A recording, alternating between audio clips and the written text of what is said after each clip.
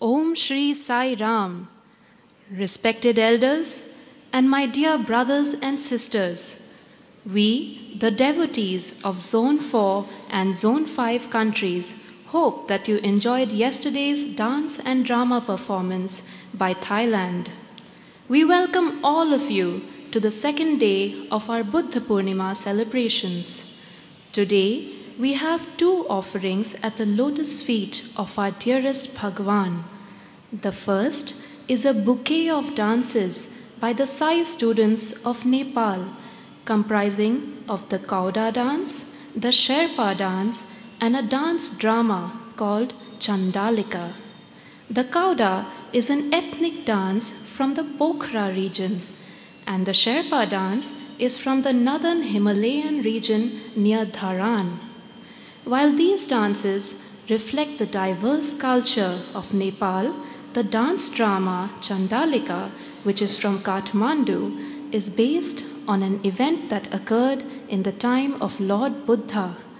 Woven around the theme of untouchability and social discrimination, the story terminates with the transformation and surrender at the feet of the Guru. The story conveys the message of equality, equity, love, and respect.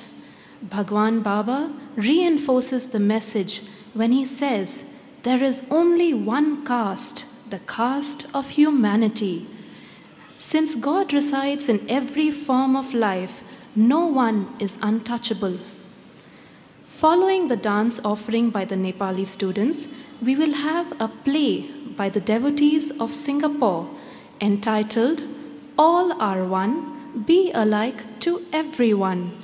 This play is about Dr. G, who fervently prays for wealth as he strongly believes his duty is to become rich.